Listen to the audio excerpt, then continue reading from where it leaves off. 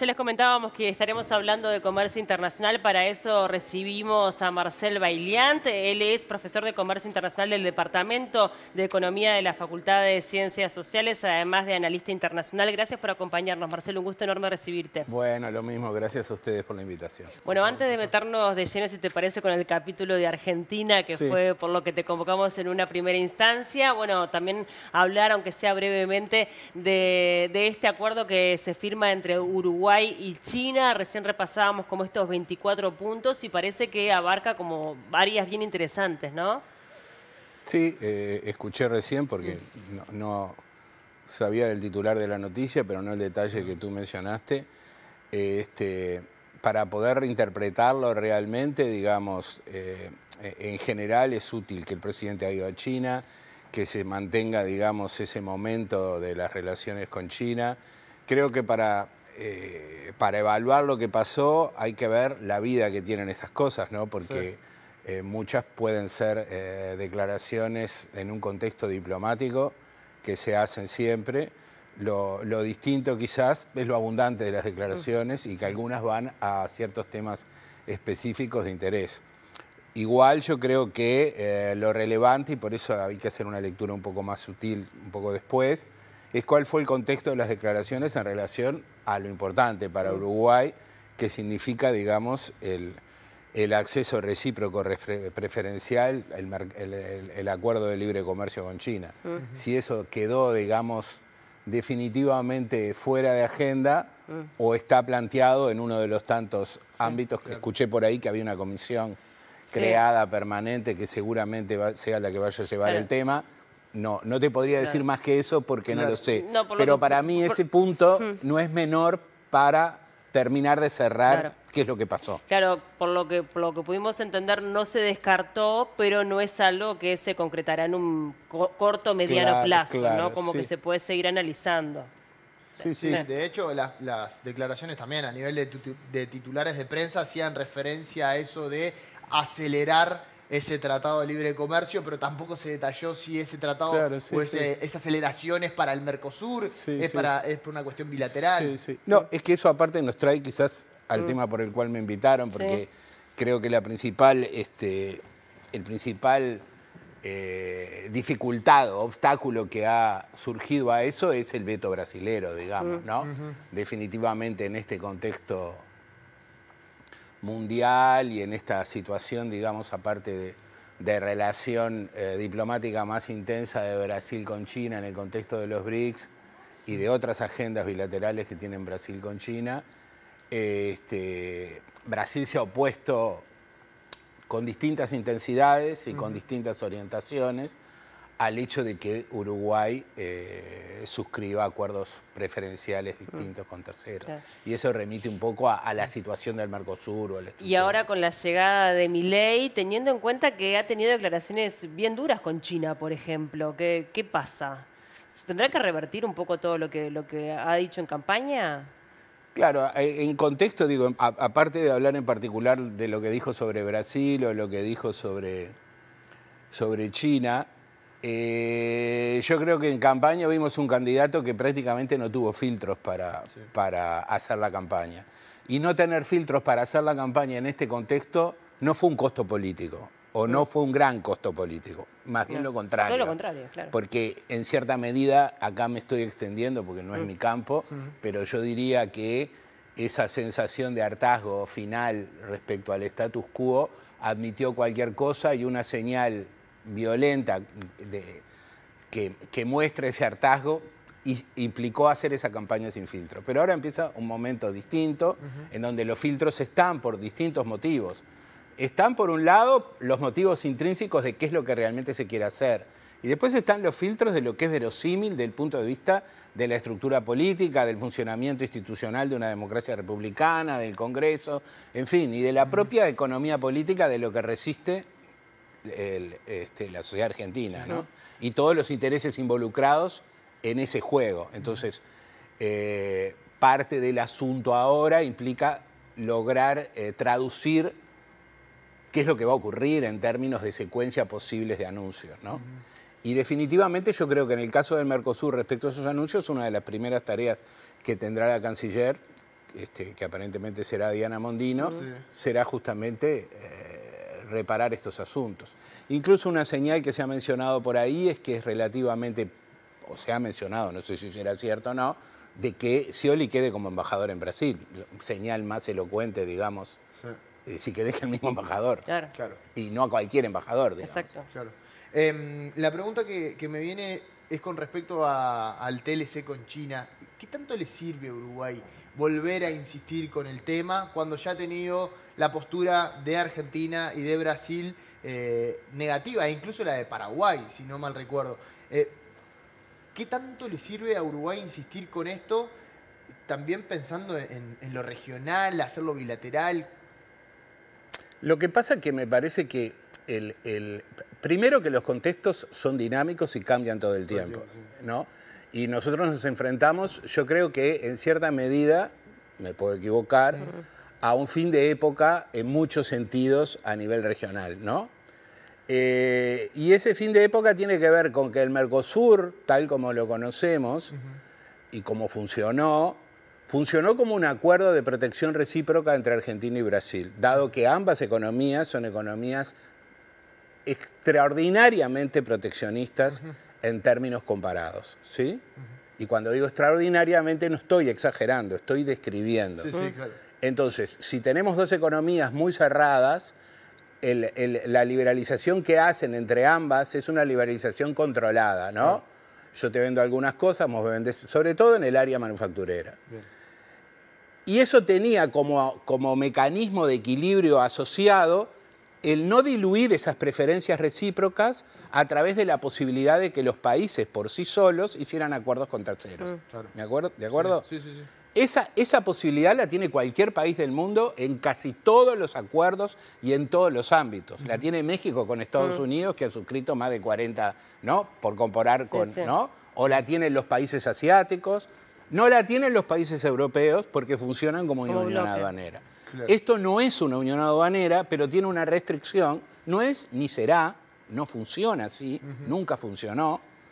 No me voy a poner acá a describirles los 25 o 30 motivos por los cuales no es una unión aduanera, pero definitivamente créanme de que no lo es, eh, pero sí tiene o ha mantenido con mucho rigor y mucha, eh, este, mucho celo la disciplina de que los países no hagan acuerdos con terceros para no diluir la preferencia. Ese es básicamente un problema de Argentina y Brasil. Nosotros somos un daño colateral ¿sí? de ese acuerdo. Y eso, este, eso es lo que yo creo que sí es lo que definitivamente se empieza a erosionar de forma casi irreversible, porque eh, lo de Milei, más que los exabruptos respecto a Lula o a que es un comunista o que... Lo, yo creo que lo que va a ocurrir es que Argentina definitivamente no va a procesar una apertura comercial como primera época, no lo va a hacer, no lo puede hacer, eventualmente no sé si lo quiere hacer, ¿no? Este, pero sí eh, va a erosionar ese, ese pacto recíproco con Brasil. ¿Y, quizás no por motivos estrictamente de política comercial, sino por otros motivos asociados, en donde este candidato, a pesar que es economista y, las cosas que plantea, tiene una perspectiva de las relaciones internacionales mucho más geopolítica que de, comercio. Y, Entonces, y esa, esa visión geopolítica está muy asociada a la principal restricción que tiene Argentina hoy, que es la restricción de financiamiento. Es un país sin financiamiento. Ahora, no, no, que Uruguay, en ese contexto que vos relatabas, ¿se, ¿se vería beneficiado o al revés, se vería perjudicado? No, yo creo que es un contexto mucho más amigable con el tipo de iniciativas que el Uruguay ha insistido, como vos decís, ha fracasado. Digo, ¿por qué seguimos insistiendo con algo que hemos fracasado? Pasa que el contexto es dinámico. Lo que Uruguay, hay veces que uno dice algo y tiene la razón, pero no es el momento adecuado porque no es verosímil hacerlo. Pero los momentos cambian, ¿no? Entonces, si uno insiste siempre con lo mismo, en algún momento llega a la situación en donde lo que dice es verosímil que se puede hacer. Y eventualmente si uno lo deja de plantear, lo va a hacer otro. Eso va a ocurrir sí o sí porque eso no tiene vuelta atrás. Ahora, Marcel, con la llegada de Milei al gobierno argentino, algunos acuerdos que, bueno, hay algunos históricos como los con la Unión Europea, el Tratado de Libre Comercio con la Unión Europea. Ahora apareció el Transpacífico. ¿Se concretarán? O sea, ¿ves que de repente puede llegar a dar ese impulso para que Yo creo que Uruguay definitivamente tiene que acelerar en este año como lo hizo, es decir, se vuelve a plantear una coyuntura no igual, pero con ciertas características de similaridad que, fue cuando estuvo Bolsonaro y, ocurrió todo lo que ocurrió en términos de que Uruguay planteó de nuevo, en continuidad con lo que hicieron otros gobiernos, porque los gobiernos del Frente Amplio hicieron lo mismo, siempre insistieron en esta dirección, lo cual es una buena noticia para el Uruguay en términos de que esto es algo que en cierta medida el sistema político uruguayo ha metabolizado como que es algo que le importa al Uruguay, ¿no? Es decir, que estar encerrados en esta situación de un, de un acuerdo regional tan disfuncional, ¿no? Porque, por otra parte, no se trata, esto no es el Mercosur, el Mercosur puede mejorar, ni siquiera hablemos de flexibilizar, para que el Mercosur funcione, una de las características que tiene que tener es que los países, va, a ser al revés de lo que se piensa. Hacer acuerdos con terceros para los países del Mercosur no va a erosionar el Mercosur, lo va a fortalecer, lo va a mejorar. Porque cuando las economías se cierran, se cierran en general. Y cuando se abren, se abren en general. Y esto no lo digo en términos teóricos, es lo que ocurre en términos comparados. Es lo que les pasó a los países de Centroamérica. ¿no? Los países de Centroamérica mejoraron su acuerdo subregional cuando hicieron el CAFTA con Estados Unidos y República Dominicana y cuando hicieron el acuerdo con la Unión Europea. Es decir, hicieron esos acuerdos que tuvieron un impacto propio, recíproco en el comercio entre ellos. ¿sí? Porque adoptaron disciplinas, las hicieron este, vinculantes, ¿no? Y esas disciplinas que aplicaron con un tercero se obligaron a aplicarla entre ellos. Algo similar le podría haber ocurrido al Mercosur si el acuerdo con la Unión Europea hubiera prosperado, ¿no? que definitivamente... No, que, digo, todos pensamos que se concretaba, porque en un momento, viste que estaban las negociaciones como que finalmente dijimos, bueno, por fin, y, y, otra vez, otra vez como que volvió a caer. Sí, sí. Yo creo que soy una de las pocas personas que ha escrito que esto iba a fracasar hace muchos ah, años. Y que las condiciones para que esto prosperara tienen que ver justamente con esto, con la mm. capacidad de bilateralizar el acuerdo, que es lo que la Unión Europea hizo previamente con otros países de América Latina, en particular con los países andinos. ¿no? El acuerdo de, la Unión Europea con los países andinos es un acuerdo que básicamente logró suscribirse, así empezó como un acuerdo entre la CAN, la Comunidad Andina de Naciones, y la Unión Europea, y los europeos se encaprichan en esa visión de que quieren negociar bloque a bloque para poder exportar su modelo de integración a los otros bloques. Pero básicamente estos países funcionan de manera distinta y los países de la CAN tampoco son una unión aduanera. Entonces, por eso hicieron un acuerdo con Perú, un acuerdo con Ecuador y un acuerdo con Colombia. Le pusieron ese título, pero son tres acuerdos. Claro, es bilateral el tema. Totalmente. Y esto es lo que sería verosímil para el Mercosur ahora. Esto es, lo que sería verosímil que ocurriera. Que podría llegar Que Uruguay pudiera claro, acelerar eso y al mismo tiempo yo creo que eso es la señal quedarían los otros países que realmente quieren hacer el acuerdo, porque basta que alguno de uno de ellos lo haga para que efecto de demostración de por medio, el resto... Es decir, todos que no, lo mismo si Uruguay entrara en el Transpacífico.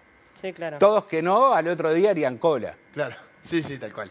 Absolutamente. Pero después también hay que, si uno empieza a mirar cada uno, la situación de cada país en particular con respecto a la eventualidad de acceder a ese tipo de, eh, de tratado, de acuerdo, ahí es cuando aparece, por ejemplo, la industria brasileña que se ve este, desafiada. Totalmente. Entonces, es muy bueno lo que tú decís. Vale decir, hay tal heterogeneidad de preferencias y de situaciones en los países que es absolutamente absurdo que solamente eh, tiene que ver con una imposición, digamos, de la simetría del poder negociación que Brasil ejerce sobre sus socios, pretender de que cada uno de ellos tenga la misma preferencia de política comercial. Uruguay está en condiciones de firmar mañana el acuerdo con la Unión Europea con la adenda que entregaron en marzo. El tema de la deforestación no es un tema del Uruguay. Claro. ¿No? Entonces, eh, no, a, pesar de que quizás podamos suscribir alguna de las objeciones que los brasileños le han hecho a esa propuesta a la Unión Europea, como por ejemplo hacer vinculantes los acuerdos de país en el contexto de los acuerdos de París, me refiero a los acuerdos vinculados con el tema del cambio climático y carbono. Entonces, eh, la adenda que presentaron en marzo, que es la que ha generado la objeción a que se suscriba el acuerdo, tiene que ver justamente con eso y es algo que los brasileños naturalmente no quieren, no pueden ah, aceptar ah, ah. o no quieren aceptar, mm. además de otras cosas, ¿no? Además que quisieron cambiar el, capítulo de compras gubernamentales, en fin, otras. Ahora, Marcel, un tema que estuvo como muy, muy en el tapete, sobre todo cuando Uruguay se, plantó en esta posición y empezó a generar como rispideces dentro del Mercosur, y también como para bajarlo a tierra y que el televidente se dé cuenta, ¿qué tanto dependemos eh, de la economía, eh, del vínculo con Argentina y con Brasil? ¿Qué tanto Uruguay depende Muchísimo. Lo que pasa es que esto, te vuelvo a repetir, no es un tema de sustitución, es un tema de complementariedad. Entonces, el, el, tema de Uruguay, y por eso esto es es como un hilo fino del cual hay que recorrer, es que tenemos que recorrer esta este profundización y mejora de las relaciones con terceros, no contra la región, sino a favor de la región. Mm. Eso, esa es la dificultad, digamos. Sí, pero hoy por hoy nuestra economía está basada en estos acuerdos con Argentina y con Brasil está basada es mucho. Son acuerdos relevantes para el Uruguay definitivamente. Mucho más con Brasil que con Argentina. Y con mm. Argentina, el problema con Argentina es que la relación de Uruguay con Argentina no se, no se circunscribe al tema del acuerdo con el Mercosur y al comercio de bienes y a los aranceles, porque eso cada vez es más insignificante. Mm. Sin embargo, aunque, aunque lo dijéramos que eso lo cerramos, Uruguay está abrazado por la Argentina. Nuestras relaciones este, son de todo tipo, digamos. Ah, eh, en materia de servicios, en materia turística, en materia de inversión, en materia de, servicios de construcción, de inversión en construcción, de todo, de todo, de servicios del sector agropecuario, de mm. las ida y venidas, de los, inmigrantes uruguayos que hay acá, de los argentinos que hay. Sí, sí, somos países hermanos. Sí, sí, pero que aparte tienen un nivel de interrelación y de mm. vínculo que los estados no se han hecho cargo de eso, ¿no? Yo eh, estoy, ayer recibí a mi familia que vive en Argentina con mis hijos y mis nietos. Fui a uno a hacerlo uruguayo con una camiseta al estadio. Y, muchas veces digo, ¿no? Lo que los estados no hicieron, las familias lo han hecho, porque son dos países que están totalmente entremezclados. Marcel, la última que tengo, eh, cortita, tiene que ver con esa mirada que vos entendés de, Javier Milei como nuevo presidente de Argentina y su, visión internacional más geopolítico que comercial. Eh, beneficia o perjudica a nuestro país y al bloque en general? Bueno, Brasil últimamente ha tenido un, como un perfil distinto, en una dirección distinta, pero ha tenido Lula, muy influenciado por su antiguo canciller Celso Amorín, ha privilegiado también y ha querido ser un actor eh, global, no le ha ido muy bien, tanto en el tema de la paz con Ucrania, ahora recientemente con el conflicto con, con Israel, su pretensión de ser un miembro permanente del Consejo de Seguridad de Naciones Unidas. Este, es el tema de Argentina y de Brasil, digamos, definitivamente. Aparte, mi ley ha insistido, y una cosa que me, asombró mucho, eh, como que está en el imaginario de Argentina, es una cosa, a mi criterio, un poco fuera descolocada. Bueno, pues quién soy yo para juzgar, digamos, al nuevo candidato, pero me suena eh, extraño en este contexto sobre todo, que el tema es recuperar que Argentina sea una potencia de nuevo, ¿no?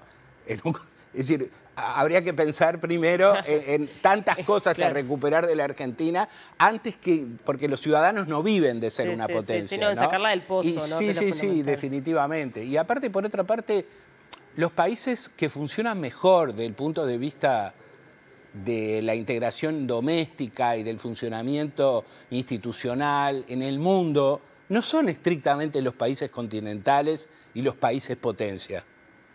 Es decir, quizás esa sea la visión de alguien que vive en un país tan pequeño como el Uruguay, pero hay bastante literatura que muestra que, digamos, que en los países pequeños las cosas tienden a funcionar mejor. Porque son, tienen capacidad de integrar más a sus poblaciones. Exactamente. Y en la relación directa Uruguay-Argentina, se podría haber beneficiado. El, el, presidente de la calle ha mencionado en reiteradas ocasiones que la relación tanto con Brasil como con Argentina es más lo que recibimos nosotros que lo que enviamos nosotros hacia allá. ¿Eso puede revertirse o es prácticamente imposible con mi ley entre Uruguay y Argentina? Si los mercados, si Argentina se estabiliza, vuelve a crecer y funciona mejor, obviamente que Uruguay se va a beneficiar. eso, eso no cabe duda, digamos que prosperamos con una buena situación y de estabilidad, que, es quizás uno de los grandes valores que ha tenido Brasil, a pesar de nuestras grandes dificultades, que es un gran país de la región que básicamente no ha tenido los sobresaltos macroeconómicos que ha tenido la Argentina. Es decir, con los cambios de gobiernos que ha tenido, la estabilidad en un conjunto de aspectos fundamentales de la macroeconomía, Brasil las ha procurado desde su devaluación de, mm. del 13 de enero del 99 para acá, este, no ha tenido exabruptos importantes en ese, en ese plano. ¿no?